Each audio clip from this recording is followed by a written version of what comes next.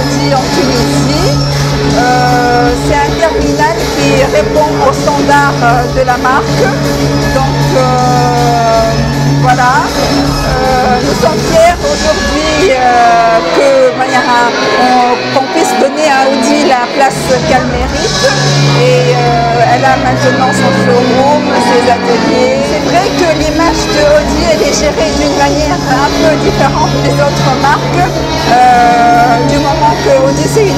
Premium, donc euh, on essaie de... Bien sûr on utilise les moyens de communication classiques tels que l'affichage, la presse, mais aussi, aussi d'être plus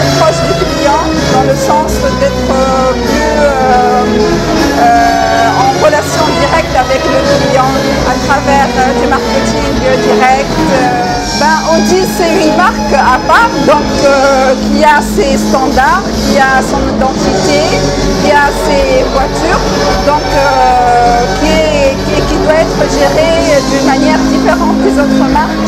Donc euh, voilà, et pour nous aujourd'hui vraiment c'est un grand événement, c'est une grande réalisation parce que Audi va avoir la place qu'elle mérite. Et par ce terminal, c'est pas juste un bâtiment, c'est toute une nouvelle relation que nous voulons instaurer avec le client, euh, un nouveau, un service de qualité, tout ça bien sûr pour la satisfaction client. Merci d'abord puisque ça vous plaît.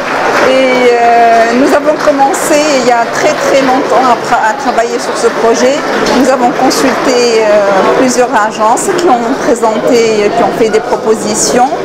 Après, nous avons shortlisté euh, deux agences et puis avec, avec les gens de Audi du nous avons bien étudié ces deux propositions et finalement nous, avons opté pour euh, le, concept qu'on vous présente ce soir. Ça c'est le premier événement Audi en Tunisie parce qu'on n'en a jamais fait et j'espère que ça va ouvrir euh, la voie à d'autres événements. Je ne veux pas, en dire plus pour l'instant, je veux garder euh, la surprise. Je pense que c'est un terminal Audi, ça, il sera réservé à la marque Audi.